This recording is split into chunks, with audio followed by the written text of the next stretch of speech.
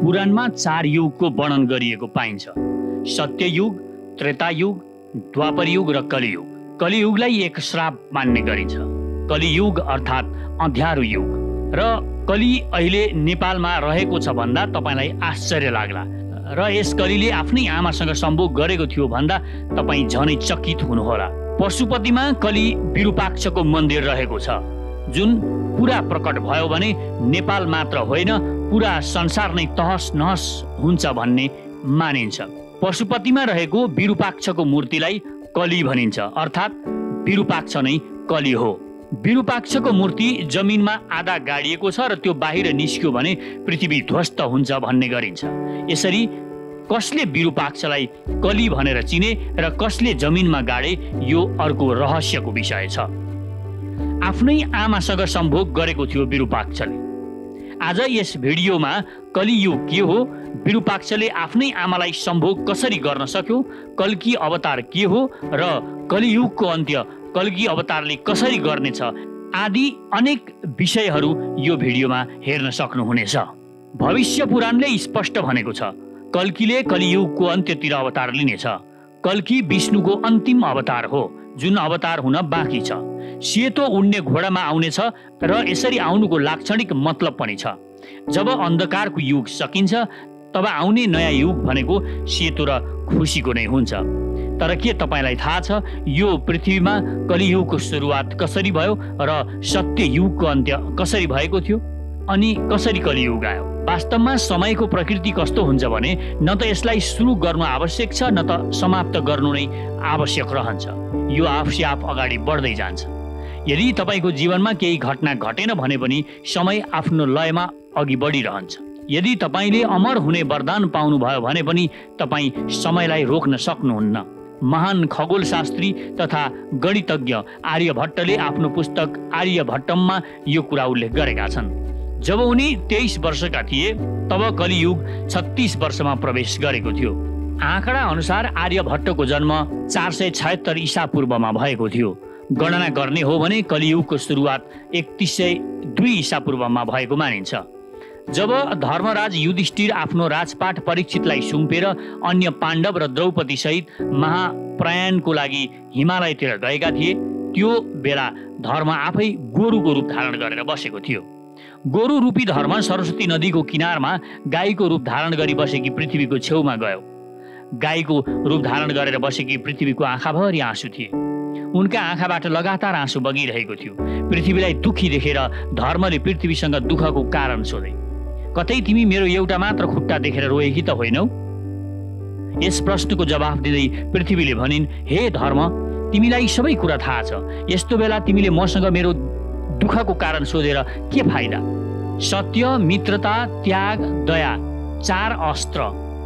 विचार ज्ञान वैराग्य ऐश्वर्य निर्भीकता कोमलता धैर्य आदिका स्वामी भगवान् श्रीकृष्ण आफ्नो धाम फर्केर गएको कारणले कलियुगले ममाथि कब्जा जमायो। श्रीकृष्णको चरण कमल ममा पर्थ्यो जसका कारणले म आफूलाई नै सौभाग्यशाली मान्थेँ।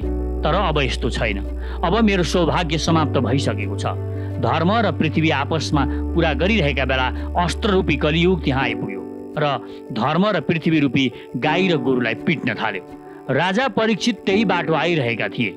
उनले यो दृश्य देखे। तब कलियुगसँग उनी धेरै नै रिसाए। राजा परीक्षितले कलियुगसँग भने दुष्ट पापी त को होस् र किन यी निर्दोष गाई गोरुलाई पिटिरहेको छस्? त अपराधी होस्। तेरो अपराध क्षमा गर्न योग्य छैन। यसैले तेरो मृत्यु निश्चित छ। राजा परीक्षितले गोरु रूपी धर्म र पृथ्वी रूपी गाईलाई चिने।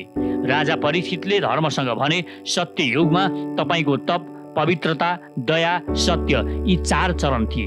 त्रेतायुगमा तिन चरण बाँकी रहे द्वापरमा दुई बाँकी रहे र अब यो दुष्ट कलीको कारणले तपाईँको एउटा मात्र चरण बाँकी रहेको छ। पृथ्वी यो कुराले दुखी भएकी छिन्। यति भन्दै राजा परीक्षितले आफ्नो तरबार निकालेर कलियुगलाई मार्न भनेर अगाडि बढे। राजा परीक्षितको रिस देखेर कली थरथर काम्न थालो। र कली आफ्नो राजसी वेशभूषा उतारेर राजा परीक्षितको चरणमा पर्यो र क्षमा याचना गर्न थाल्यो। राजा परीक्षितले पनि आफ्नो शरणमा आएको कलीलाई मार्नु उचित देखेनन्। कलीसँग उनले भने कली तिमी मेरो शरणमा आएका छौ। यसैले म तिमीलाई जीवन दान दिँदैछु। तर अधर्म पाप झुट चोरी कपट दरिद्रता आदि अनेक दुःखको मूल कारण तिमी नै हौ। तिमी मेरो राज्यबाट अहिले निस्केर जाऊ र फेरि फर्केर कहिले पनि नआउनु कलिले राजा परीक्षितको कुरा सुनेर भने पुरा पृथ्वीमा तपाईँको निवास छ। पृथ्वीमा यस्तो कुनै स्थान छैन जहाँ तपाईँको राज्य नहोस्। यस्तोमा तपाईँ मलाई कुनै स्थान दिनुहोस्। कलिले यसो भनेपछि राजा परीक्षितले धेरै सोच विचार गरेर भने असत्य मद काम र क्रोधको निवास जहाँ हुन्छ ती चार स्थानमा तिमी बस्न सक्छौ। हे राजन मेरा लागि यी चार स्थान अपर्याप्त हुनेछन्। मलाई अन्य स्थान पनि प्रदान गर्नुहोस्। यो कुरा सुनेर राजा परीक्षितले कलिलाई बस्नका लागि सुन रूपी पाँचौँ स्थान दिए। कलि यो स्थान पाएपछि प्रत्यक्ष रूपबाट त्यहाँबाट गयो र केही पर गएपछि अदृश्य रूपमा फर्केर फेरि आयो र राजा परीक्षितको सुनको मुकुटमा निवास गर्न थाल्यो। यसरी कलियुगको सुरुवात भयो। कलि कलियुग सुरु त भयो तर अन्त्य कहिले हुनेछ? कलियुगको अन्त्य हुनुभन्दा पहिला यी छवटा लक्षणहरू देखिने कुरा बताइएको छ। भगवान् विष्णुको कल्की अवतार हुन बाँकी रहेको कुरा त हामी सबैले सुनेका नै छौँ। जब धरतीमा पाप बढ्नेछ र सबैतिर अधर्म र अत्याचार फैलिन थाल्नेछ त्यो बेला सृष्टिको उद्धार गर्नका लागि भगवान् विष्णु कल्कीको अवतार लिएर आउनेछन् र कलियुगको अन्त्य गरेर फेरि धर्मको पुनर्स्थापना गर्नेछन्। यी छवटा लक्षण हेरेर कलियुगको अन्त्यको अनुमान लगाउन सकिन्छ। कलियुगको अन्त्य कसरी हुन्छ भन्ने कुरा श्रीमद् भागवत महापुराणमा पाइन्छ। यसमा कलियुगका लक्षणदेखि कल्की अवतारको रूपरङ्ग समेत सबै कुरा जानकारी दिएको छ। साथै भनिएको छ जब कलि अन्तिम समयमा हुनेछ तब कस्ता कस्ता लक्षणहरू देखिन्छन्। श्रीमद् भागवत महापुराण अनुसार भगवान् विष्णु पृथ्वीबाट अधर्मको नाश गर्नका लागि कल्की अवतारको रूपमा आएर तिन दिनमा कलियुगको अन्त्य गर्नेछन्। पाप युगको अन्त्य गरेपछि भगवान्ले फेरि धर्मयुगको स्थापना गर्नेछन्। भगवान्ले अवतार लिनुभन्दा पहिला केही यस्ता लक्षणहरू देखिनेछन् जुन असामान्य हुनेछ। यी लक्षणले धरतीमा पापको चरम सीमाको सङ्केत दिनेछ। जसको जसपछि भगवान् आएर सबै कुरा नाश गर्नेछन्। अब हामी श्रीमद् भागवतमा बताइएका यी सङ्केतहरूतर्फ ध्यान दिउँ। मानिस सधैँ भोग प्यासले र अलग अलग चिन्ताहरूले घेरिनेछन्। मानिसका शरीरमा अनेकौँ किसिमका रोगहरू लाग्नेछन् र मानिसको उमेर पनि कम भएर जानेछ। पृथ्वीमा रहेका सबै नदीहरू सुक्नेछन् र पानी सकिएपछि पुरा सृष्टिमा हाहाकार मच्चिनेछ। अकालको कारण सबै रुख बिरुवाहरू सुक्नेछन्। पति पत्नी व्याविचारी हुनेछन् एकअर्कालाई धोका दिएर अन्य स्त्री या पुरुषसँग सम्बन्ध बनाउन थाल्नेछन्। मानिस विवाह नै नगरी बस्न थाल्नेछन् र सम्बन्धको कुनै सीमा हुने छैन। केटा केटा र केटी केटी विवाह गर्न थाल्नेछन्। तीर्थस्थलमा धर्म र पवित्र पवित्रताको साँटो अधर्म र अपवित्रताको कुरा हुन थाल्नेछ। त्यहाँ पूजापाठ हुनुको साँटो अनाचर हुन थाल्नेछ। सबै मठ मन्दिर धन कमाउने संस्थामा बदलिनेछन्। मानिस सानो सानो स्वार्थका लागि बैमानी तथा हत्या जस्तो काम गर्न थाल्नेछ। मानिसको जीवनको कुनै मूल्य हुने छैन। जो कोही सम्पत्ति कमाउनका लागि अनैतिकताको बाटो अप्नाउन थाल्नेछ। कुल मिलाएर भन्नुपर्दा मानिसको पतन हुन थाल्नेछ। सबैतिर धर्मको रूपमा धर्मको पूजा हुन थाल्नेछ। आफ्नो स्वार्थ पुरा गर्नु नै सबैभन्दा ठुलो धर्म मानिनेछ। धर्म मान्ने मानिस लगभग सकिनेछन्। जो कोही नास्तिकताको पालना गर्न थाल्नेछन्। यी पाँचवटा मध्येका धेरै कुरा अहिले पनि अचम्म लाग्दा छैनन्। धेरै कुरा मानिसले अमल गर्न थालिसकेका छन्। अझै लाखौँ वर्ष कलिको बाँकी नै छ। अन्तिम समयसम्म पुग्दा यी सबै कुराले हद नाग्नेछ र कल्कीको अवतार हुनेछ। आफ्नै आमासँग सम्भोग गर्ने विरूपाक्षको मूर्ति तपाईँ पशुपतिमा गएर हेर्न सक्नुहुन्छ जुन कली हो। विरूपाक्षको जन्म गरिब परिवारमा भएको थियो। उनी जन्मने बित्तिकै उनका बाबु उनी जन्मने बित्तिकै उनका बाबु पैसा कमाउन भने विदेशतिर लागे। विरूपाक्षकी आमाले उनलाई दुःख गरेर हुर्काइन्। विरूपाक्ष अलिअलि बुझ्न सक्ने बित्तिकै बाबुलाई खोजेर ल्याउँछु भने घरबाट आमालाई छोडेर निस्के। धेरै वर्षसम्म खोजी गर्दा पनि उनले आफ्ना बाबुलाई भेट्न सकेनन्। जसरी भए पनि बाबुलाई खोजेर मात्र आमालाई भेट्न जाने अठोट लिएका भिरुपाक्ष बाबुलाई खोज्दा खोज्दै सत्र वर्षका हुन पुग्छन्। तब उनी जङ्गलको बाटो फर्कन थाल्छन्। सत्र वर्षको उमेरमा एक दिन फर्कँदै गर्ने क्रममा रात पर्छ र थकाइ लाग्छ। तब उनी एउटा गुफामा बास बस्न भनेर जान्छन्। राति बिरुपाक्ष बसेको त्यस ओडारमा एक युवती पनि बस्न आइपुग्छिन्। अँध्यारोमा ती युवा युवतीहरू कामोन्मादमा जान्छन् र अति कामुक भएका भर्खरै किशोर अवस्थामा रहेका र अति नै कामुक विरूपाक्ष ती महिलासँग राति त्यस ओडारमा सम्भोग गर्न पुग्छन्। उनीहरूले राति अँध्यारोमा एकअर्कालाई चिनेका हुँदैनन् र अँध्यारोमा उनीहरू नचिनिकनै एकअर्कासँग शारीरिक सम्बन्ध बनाउँछन्। भोलिपल्ट छुट्टिने बेलामा आफूले कोसँग रात बिताएकी रहेछु भनेर ती युवतीले हेर्न खोज्दा थाहा पाउँछिन्। उनले आफ्नै छोरासँग सम्भोग गरेकी थिइन्। विरूपाक्षले आफ्नी आमालाई चिन्छन्। आमा पनि छोरा फर्केर नआएपछि लामो समयसम्म चिन्तामा रहेपछि उनी छोराको खोजीमा निस्किएकी हुन्छन् र राति त्यही ओडारमा बस्न पुगेकी हुन्छन्। विरूपाक्षले यसरी आफ्नी आमासँग आफ्नै आमासँग सम्भोग गर्न पुग्छन्। यो कुरा थाहा पाएपछि विरूपाक्षले आफूले आफूलाई अति नै धिक्कार्न थाल्छन् उनी चिन्ता गर्न थाल्छन् र पछुताउन थाल्छन्।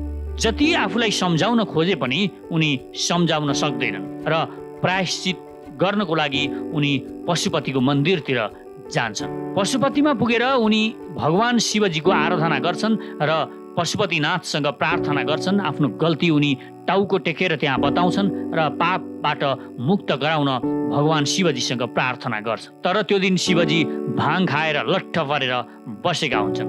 भाङ खाएर बसेका यिनै शिवजीले उनलाई बाह्रधारणीको तामा पगालेर खाएपछि तेरो सबै पाप नाश हुन्छ भनेर भनिदिन्छन्। यसरी विरूपाक्ष पशुपतिको कुरा पत्याएर बाह्रधारणी तामा तताउन थाल्छन्। अब उनी पापबाट मुक्त हुने आशा गर्छन्। तामा तात्यो या तातेन भनेर हेर्न जाँदाखेरि तातो तामाको राफले उनको अनुहार डढेर विरूप बन्छ। विरूपाक्ष क्रूप बन्छन् र यही क्रूपता पछि उनको नाम विरूपाक्ष रहन जान्छ। आफूलाई पशुपतिनाथले यसरी मार्न खोजेको विरूपाक्षले बुझ्छन् र विरूपाक्षलाई लाग्छ शिवजीले उसलाई मार्न खोजेका हुन्। विरूपाक्ष शिवजीलाई तथानाम गाली गर्न थाल्छ शिवजीको बदख्वाई गर्न थाल्छ र शिवको मूर्तिमा लात्तै लात्तले हान्न थाल्छ। शिवको निन्दा गरेर गाउँ गाउँ हिँड्न थालेको बेला उसको भेट एक दिन बुद्धसँग हुन्छ। उनलाई बुद्धलाई देखेपछि केही आशा पलाउँछ र आफूले पाप गरेको कुरा उनी बुद्धलाई भन्छन्। बुद्धलाई उनी नढाँटिकन सबै कुरा भनेर प्रायश्चित गर्न खोज्छन्। यो पापबाट मुक्ति कसरी पाउन सक्छु होला भनेर उनी बुद्धसँग अनुरोध गर्छन्। बुद्धले आफूले लगाएको बोधिचित्तको माला दिँदै विरूपाक्षलाई भन्छन् तिमी यो माला तबसम्म गनिरहनु जबसम्म यो खुइलिएर जाँदैन मर्न आँटेकोलाई सिनको सहारा भने झैँ विरूपाक्ष पश्चातापले गरिरहेको बेला माला लिन्छन् र माला बोकेर उनी अहिले कलीको मूर्ति रहेको ठाउँमा गएर माला गन्न थाल्छन्। यसरी बोधिचित्तको त्यो मालाको गोटीहरू गन्दा गन्दै महिनौ बितेर जान्छ। महिनौ बितिसक्दा पनि माला खुइलिने नामो निशान देखिँदैन। खुइलिने छनक पनि उनी देख्दैनन्। माला नखुइलिएको देखेर उनलाई बुद्धसँग पनि अत्यन्त रिस उठेर आउँछ। उनले शिवजीले जस्तै बुद्धले पनि आफूलाई बेवकुफ बनाए जस्तो लाग्छ र उनी अति नै रिसाउँछन् र माला फ्याँकिदिन्छन्। माला फ्याँकेर उनी जुरुक्क उड्छन् र आँखा खोल्छन्। त्यसै बेला उनको आँखा थोत्रा लुगा लगाएको एउटा सानो बालकमा पर्छ। यो बालक ढुङ्गामा ठुलो फलामको पातो घोटिरहेको हुन्छ। उनलाई अचम्म लाग्छ। त्यो बालकलाई गएर उनी सोध्छन् तिमी किन यो फलामको पाता घोटिरहेका छौ? तब त्यो बालकले विरूपाक्षलाई विनम्र हुँदै भन्छ तपाईँ हेर्नुहोस् त मेरा लुगाहरू कसरी फाटेका छन्। अब यी फाटेका लुगाहरू मैले सिलाउनु पर्दैन। फलामको यो पातालाई घोटी घोटिकन म सियो बनाउँछु र त्यही सियोले यो लुगा सिलाउँछु। त्यो बालकको कुरा सुनेर विरूपाक्ष चकित हुन्छन्। वास्तवमा ती बालकहरू कोही नभएर बुद्ध नै हुन्छन्। बालकको यस्तो कुरा सुनेपछि विरूपाक्ष फेरि त्यही स्थानमा गएर बस्छ र माला जप्न थाल्छ। अब उनलाई विश्वास हुन्छ एक दिन त्यो माला खुइलिनेछ। केही महिना अघि मात्र पशुपतिको निन्दा गर्दै भगवानको विरोध गर्दै नास्तिकता देखाउने यो विरूपाक्ष अहिले ढोङ गरिरहेको छ। माला गनेर माला माला जपेर ढोङ गरिरहेको छ भनेर मानिसहरू त्यो ढोङ्गी विरूपाक्षसँग अत्यन्तै क्रुद्ध हुन्छन् र रिसाएर उसलाई जमिन मुनि गाडिदिन्छ र के विश्वास गरिन्छ भने प्रायश्चित गरेर भगवानको आराधनामा बसेको बेला गाडिएकोले उनले बाहिर निस्किएपछि ती गाड्ने मानिसहरूसँग बदला लिनको लागि पृथ्वीलाई ध्वस्त पार्नेछन् भन्ने विश्वास गरिन्छ र तिनै विरूपाक्ष नै कली हुन् र ती कलीले जब पृथ्वी ध्वस्त पार्नेछन् तब कलियुगको समाप्ति हुनेछ। पृथ्वी ध्वस्त हुनुसँगै कलियुगको समाप्ति हुनेछ भन्ने विश्वास गरिन्छ।